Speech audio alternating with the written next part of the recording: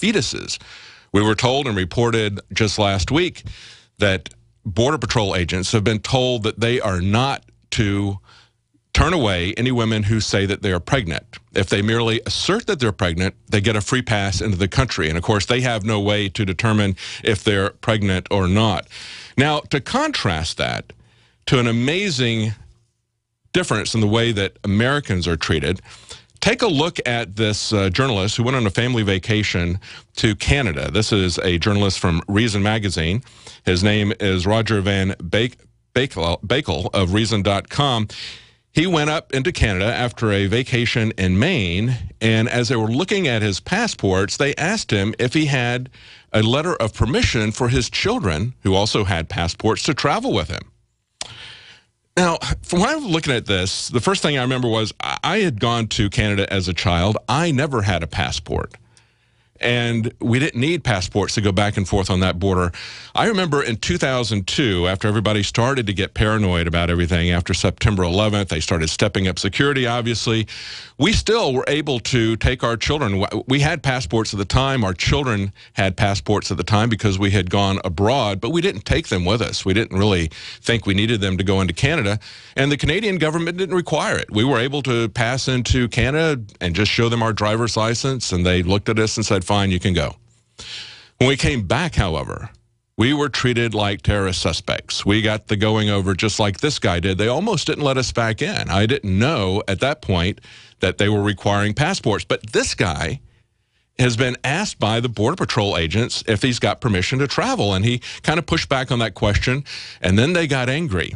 He said, I realized then that just a little bit of pushback was all these guys needed to get them going. They pulled, they got him out of the car. They got very aggressive with him, started searching his car, and he says, all right, I'm going to videotape this for my own protection. When he did that, they physically took it out of his hand and got very aggressive with him. He says, wait a minute, as a journalist, I can tell the world in writing whatever questions you're asking. And he says, in the U.S., anybody has that right. It's certainly not against the law. What's the difference between that and recording the conversation.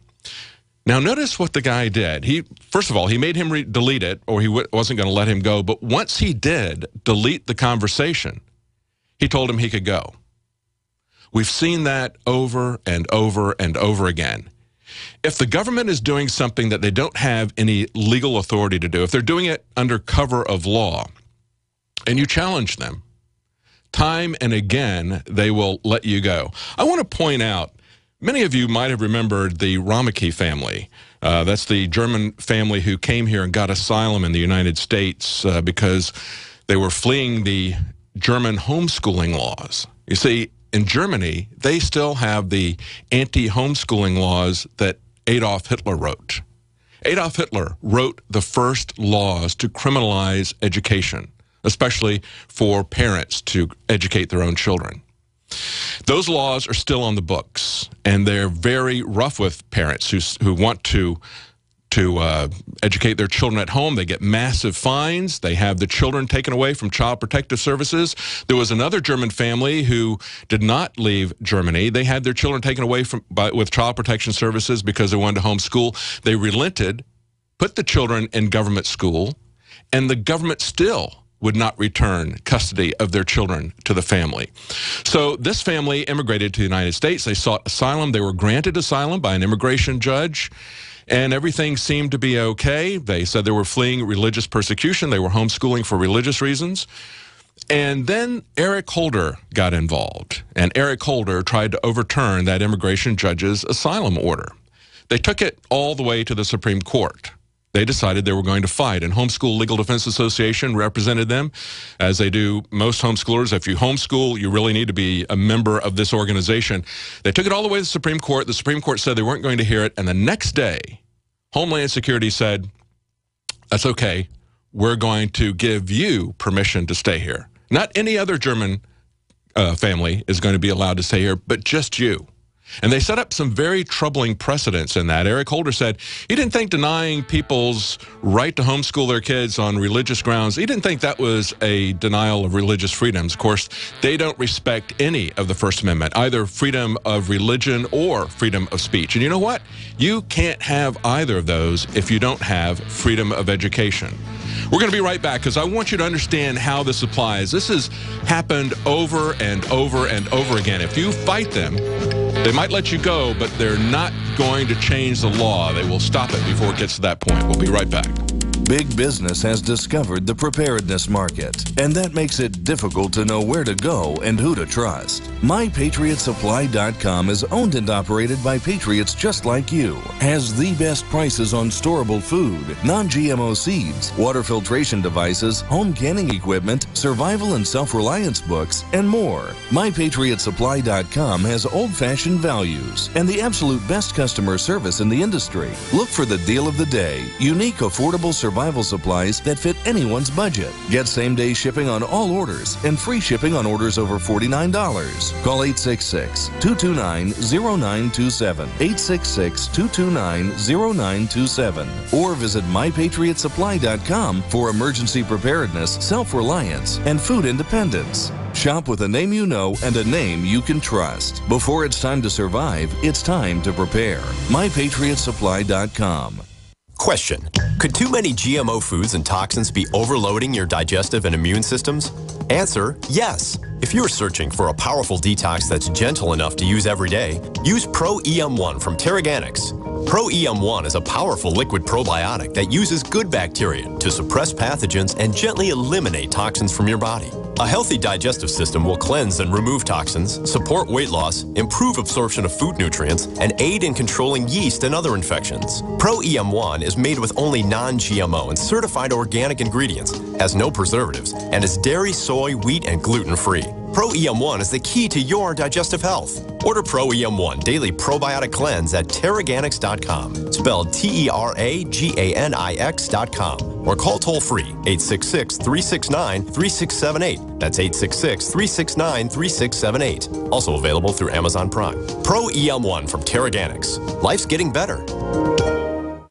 Alex Jones here for Infowars.com. In the month of July, we have got giant specials on everything at Made in1776.com. The already discounted Made in 1776 t-shirts are only 1776. We have the new belt buckles that in only two weeks of sale are very close to selling out. There's only 500 of each. We're talking about Made in America belt buckles in nickeled brass. This is more than a summer blowout special. This is a new declaration of independence. But to expand the InfoWar, we're offering the equivalent of more than five months free right now when you get a membership at prisonplanet.tv for a limited time, only $39.95 a year. That's more than five months free off the regular price. Not just this July 4th weekend, but the entire month of July at Made-in-1776.com. Molon Labe, you can take my gun from my cold, dead hands.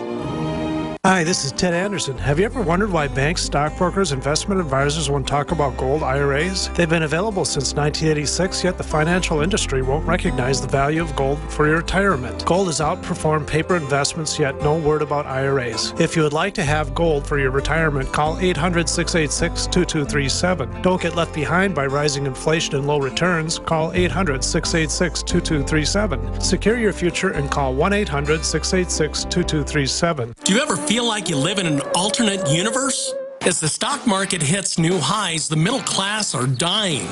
Manipulated financial markets and economic figures, chaos on our border, China and Russia bypassing the dollar. Life is getting ready to change. You need to prepare to thrive in the new economy. Go to babyboomerbackupplan.com or call 888 507 8789. That's 888 507 8789.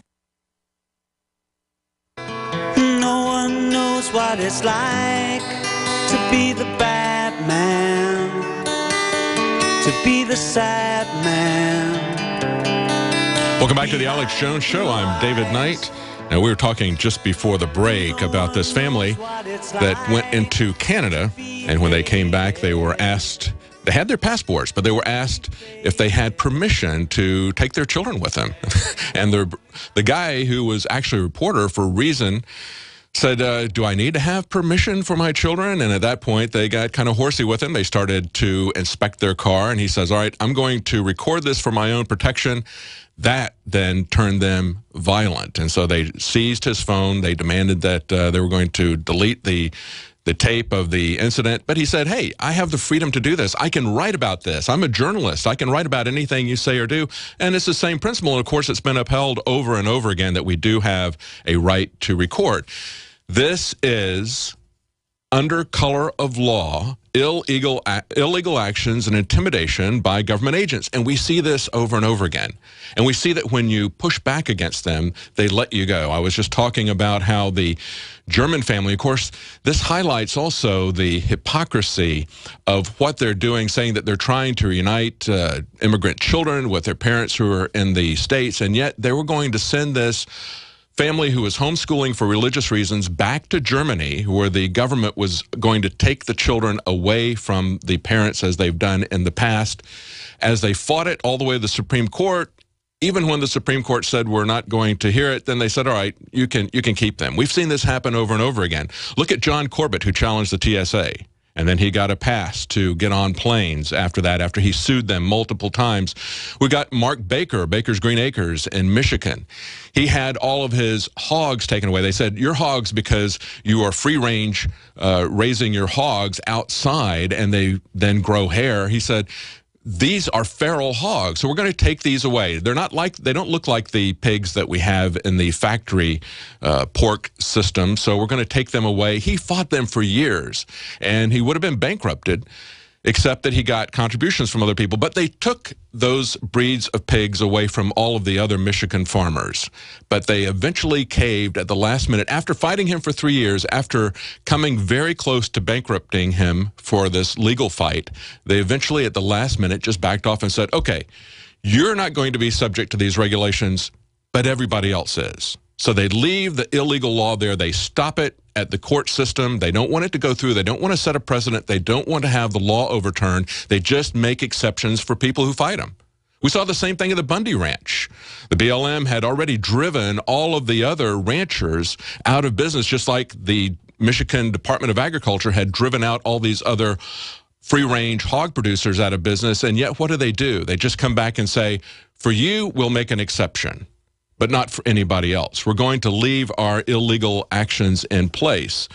Now, Obama, if you haven't heard, is meeting with heads of Central American states, and they are now looking at having children brought into this country. We, the American public, the American government, will fly children in from Honduras, giving them refugee status. But they will not give refugee status to a single family that comes here because they're going to have their children taken away with them from them if they educate them at home. That's the kind of dichotomy we see. We see that the government does not want people to have control over their children.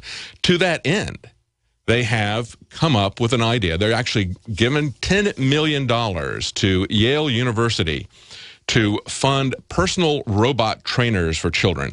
And listen to the way they talk about this. They talk about deploying these robots into homes. That's actually their phrase. I was up on the Drudge Report. He highlighted that, that they're going to deploy these robots into homes and they're going to teach them English as a second language. See, that's a large part of why they want to import these young children. They want to get them and they want to control them. The government wants to get rid of parents wants to move them out of the way so that they can raise the children themselves. They can't do that enough by extending the school year, by extending the school hours. So now they want to put robots into the homes. Listen to what the computer science professor at Yale University, principal investigator for the study said. He said, just like a good personal trainer, we want the robots to be able to guide the children toward a behavior that we desire. Who would that we be? Is that uh, the parents or is that going to be the government setting those priorities? He says, the need for this technology is driven by critical societal problems that require sustained, personalized support to supplement the efforts of educators, parents, and clinicians. See, they kind of put the parents in there in the middle in between the educators and the psychologists. Uh, you know, Melissa Harris Perry said, "You got to get over this idea that you own your own children." No, you don't. You know, well, so so what role do they see for parents? I don't know because they're saying that they want these robots to help them learn better eating habits, social cognitive skills. So, what is it that parents are supposed to do? I don't know. Maybe they tuck them in at night. It's it's not really clear. But what is clear is they want to build a healthy relationship, he says, of trust and respect between the child and the robot, not between the child and the parent. We're on what the mark.